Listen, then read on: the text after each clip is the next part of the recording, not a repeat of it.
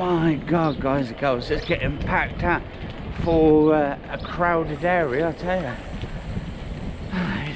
Jesus. Loads of people out today around here.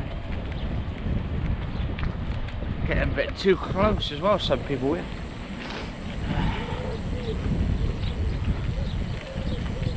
Alright.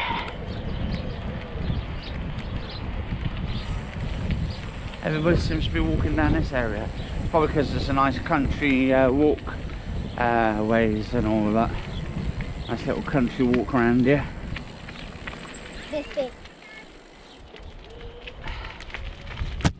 Oh, cheers, thank you.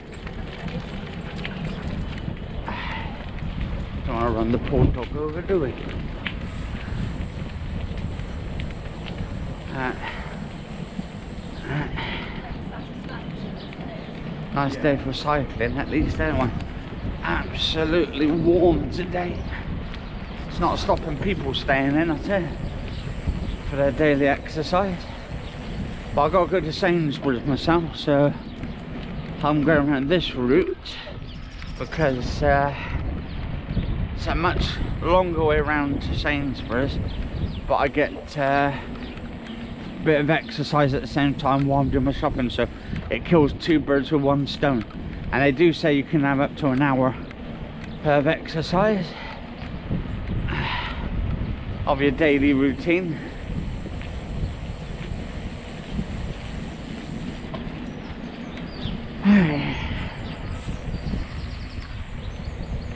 Alright.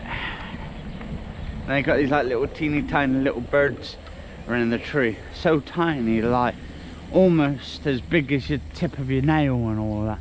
Your thumbnail.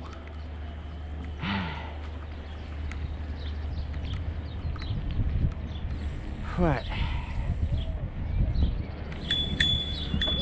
Oh, cheers, thank you.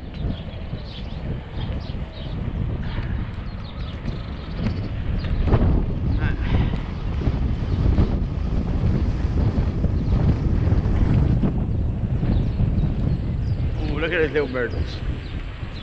Hello and welcome to planet Earth with me, David Attenborough.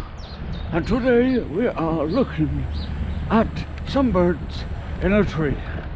How amazing, how beautiful.